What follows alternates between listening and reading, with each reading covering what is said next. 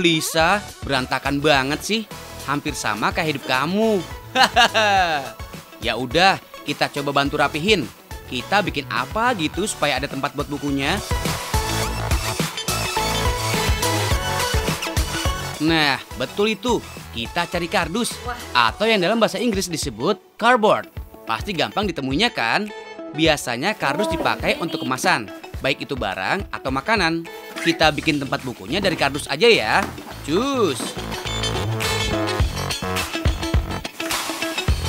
Selain kardus, alat-alat yang diperlukan ada cutter, spidol, penggaris, gunting, dan pensil. Buat persegi panjang dengan ukuran 30 cm 18 cm. Kemudian ukuran 30 cm x 13 cm. Lalu 30 cm x lebar 5 cm. Persegi panjang dengan ukuran 18 x 30 dibuat sebanyak 3 lembar dan dibentuk salah satu sudutnya melengkung. Hahaha, betul itu Lisa. Pakai piring bisa banget. Cukup dicari pertemuan titik antara kardus pakai piring, jadinya lebih mudah dan rapi.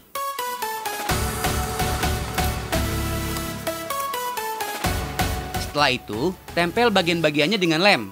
Oh iya, kalau kalian punya lem tembak, itu lebih bagus. Tapi dengan lem biasa pun bisa. Karena yang penting kreasinya guys.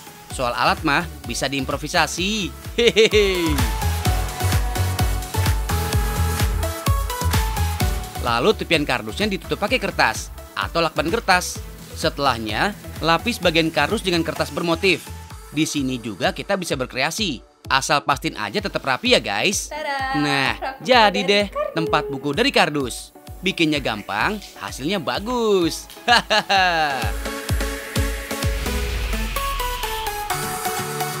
Selain untuk naruh buku, space lainnya bisa juga tuh buat simpen barang lain kayak kosmetik.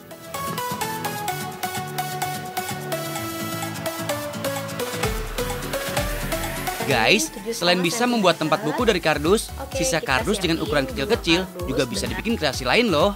Tinggal bikin bentuk dan ukuran seperti ini. Ukurannya tergantung sisa kardusnya guys. Sesuaikan aja.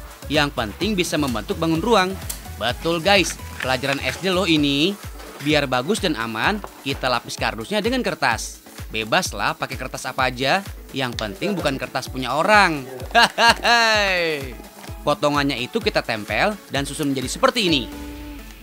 Tada, sudah jadi. Nah, biar lebih manis, kita kasih gambar-gambar di sini.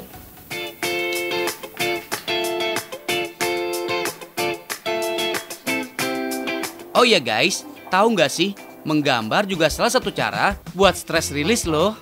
Saat depresi melanda, menggambar bisa menjadi salah satu cara untuk menyalurkan unek-unek atau menyalurkan Ini guys, emosi yang terpendam jadi. lewat goresan tinta dan warna juga. yang terpola ataupun acak. Hahaha, lucu uga tuh gambarnya. Terakhir, buat untuk tutupnya guys. Kalau udah kayak gini, bisa dipakai buat apa aja ya guys? Tergantung keperluan kalian nih. Kalau Lisa, dipakai buat tempat sampah kecil. Karena kerapihan dan kebersihan bisa bikin enak menjalani hidup kalian. Iya kan? Hahaha.